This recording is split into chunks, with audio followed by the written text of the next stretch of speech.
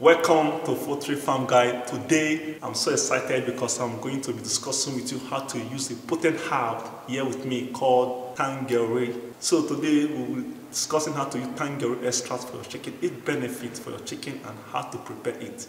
So stay tuned, I'll be right back. Welcome back. As I said earlier, we'll be discussing how to use Tagiri extract for your chicken, the benefits of Tagiri extract for your chicken and how to prepare it.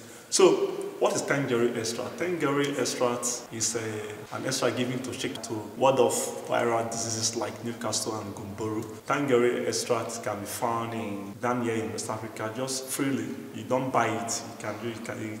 It grows on its own. Now, what can this thing do for our chicken? At this time of recording this video, there is no scientific proof of an experiment on tagiri, but that does not weaken the medicinal potency of a tagiri because most a survey was done in parts of uh, Nigeria, Ekiti State and Ogun State and uh, Osun State about uh, the locals there. Women over there have uh, attest to its potency as well as being used in several livestock to ward off or prevent viral diseases. So I even say this most of the in most of the stores where they sell herbs and roots. I also see tagiri there, and I've seen so many locals using it for their livestock, including chickens. So on today's video, we're just gonna talk about how to prepare tagiri extract. So without no further ado, I'll just go to my table and show you how you can prepare it. So while here on the table, I have my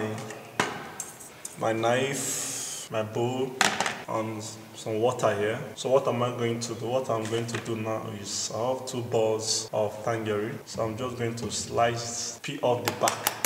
The back is very strong as you can see. So it's very strong. So I have to peel it off.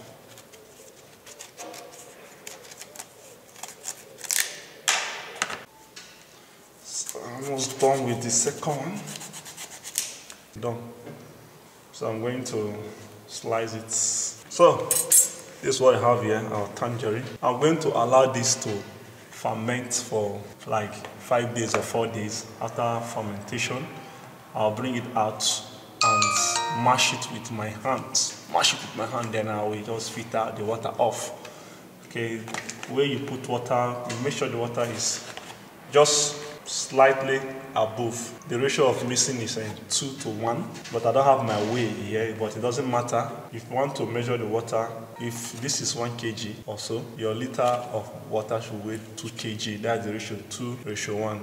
All I make sure is not necessary. Uh, what you just have to do, make sure that the water is covering the tagiri above. Yes start is covering it. Once you made you see that the water is covering the tagiri above it's enough so this make sure that the water when you soak the tagiri at least the water is on top of the tagiri. So you can use this it's enough like this and then you can cover this with a mesh. Okay but i'm just going to use this. I'll put some of this here and see let me use this container.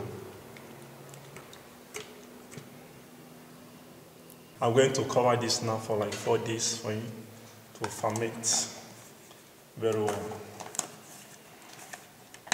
And for this time, we're coming back, serve it to my chickens. So let's wait for five days. Yes, I'm going to use five days. Five days is perfectly okay. So today is the fifth day for fermentation, so let us open it and see how far it has fermented. So come closer. So this is the tagiri after five days of fermentation. So I'm going to squeeze it, grind it. You can use your blender. I'm going to use my hand to squeeze out this juice and filter it out. I have my filter here. So at this stage, I'm not going to add any water while I'm trying to extract the juice. I'm just going to extract it with the normal water here. Remember the ratio of water to tagiri we used was uh, 1 ratio 2, that is one twice, the water should be twice the weight of the tagiri or Christmas melon. So today I'm just going to filter it out.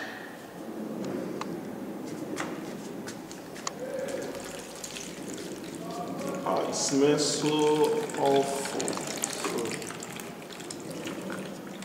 So I'm just going to, I'm not going to add water now as I blend. I'm not adding any water gradually. Whew, the smell is,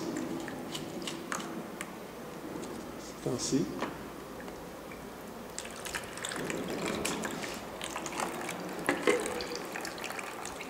Some people might tend to use blender, but if you don't have blender, you can just cut it as we did and leave it for five days to ferment. Then you gradually allow the water to sieve out. So,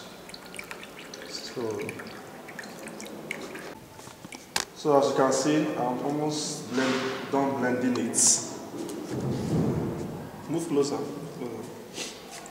So this is just the shaft remaining on the seed. I can dry out the seed and uh, give it to the birds as a dewormer. Okay, I think we are done.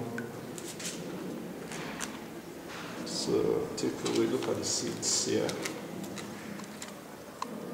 Yes. So what we have here is the pure tagiri, tagiri water. Christmas melon or white melon extract. This is tagiri extract for your chicken. Used for treating viral diseases in poultry beds like Gumboro, Newcastle disease, Marek disease. So I'm just going to put it here for preservation.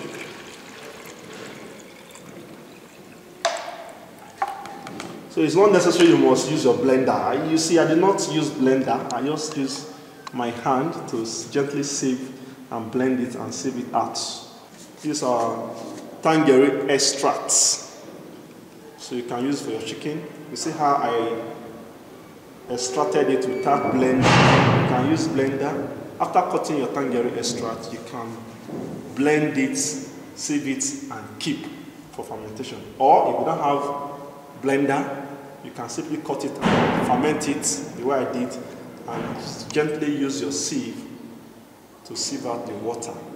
By then, the tagiri cuts or pieces uh, might have softened, so you can just use your hand and uh, blend it and the water will sieve out and you have this extract here. So the next thing is preservation. You can preserve it using refrigeration or you can refrigerate it. The second method of preservation is uh, blackstrap molasses. It's, it is sold in the market. It is gotten from sugar cane. So it is sold in the market. It's a good preservative. You can preserve it up to four months. While refrigerating it will take about one month to preserve its refrigeration will take one month. While black molasses will take four months. So I prefer black stripe molasses for preservation. How do you use blackstrap molasses?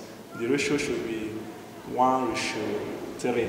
That is 1 liter of uh, blackstrap molasses to 3 liter of tangerine extract. The preservative method to using black molasses is 1 ratio 3. How do you use it? Preventive measure, you use 10 mil to 1 liter, while for treatment you use 30 mil to 1 liter. If you find this video helpful, please click the like button, comment and subscribe to my channel. Thank you and see you in my next video.